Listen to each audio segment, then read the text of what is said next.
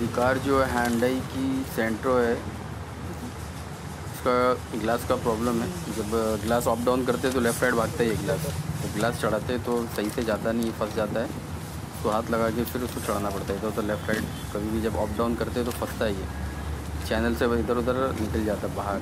ठीक है क्रॉस हो जाता है। इसका प्रॉब्लम ये रहता है, इसका वाइंडर ख़राब हो जाता है, ठीक है?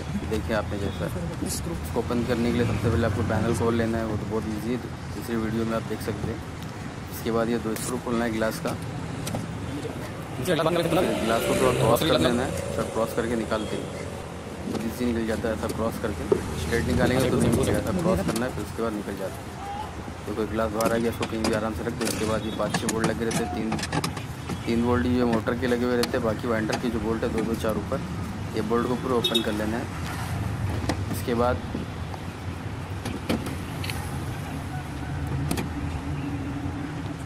ओपन होने के बाद मोटर का वायर डिस्कनेक्ट कर देना है, उसके बाद आराम से इसको नीचे गिरा के निकाल सकते हैं अभी थोड़ा आराम से ये आ गया बाहर। ये स्क्रू कभी कभी जाम रहता है, इसको थोड़ा ताकत लगा के खोलना पड़ता है। अगर स्क्रू ड्राइवर आपके पास अच्छा नहीं तो स्लिप हो जाता है, इसलिए थोड़ा इसको एक ही बार अच्छे से लगा खोले तो ज़्यादा इतना टाइम नहीं लगता है, पंद्रह बीस मिनट का काम है रिप्लेस करने के लिए।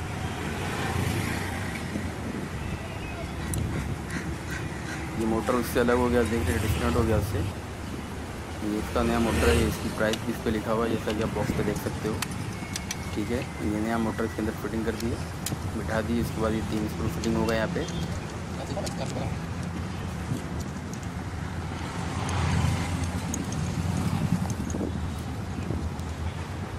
ओके तो ये तीनों स्क्रू टाइट कर देना अच्छी तरह से।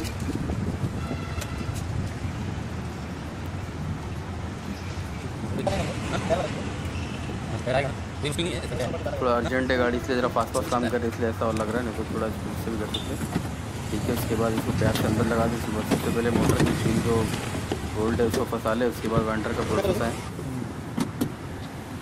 ये आगे मोटर की बोल्ट और विंडो का जो मोटर है पहले इसके तीन दस नंबर के नट आते हैं इसको लगा ले उसके बाद इसमें कुछ सेटिंग वगैरह नहीं आता जैसे बहुत सी गाड़ियों में लेफ़्ट राइट इधर थोड़ा इधर तो घुमाने का सेटिंग आता है इसमें सेटिंग नहीं आता डायरेक्टली फिटिंग होता है ये। सारे नट को मिला ले उसके बाद एक साथ फुल टाइट करते इसको।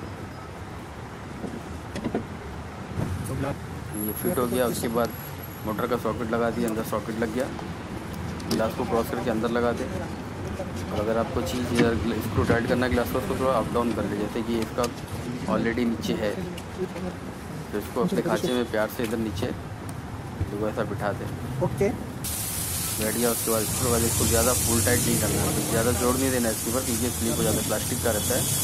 तो ये ख़राब हो जाता है स्लिप हो जाता है। चला इसको चेक करके करके देखो ये एकदम परफेक्ट चल रहा है।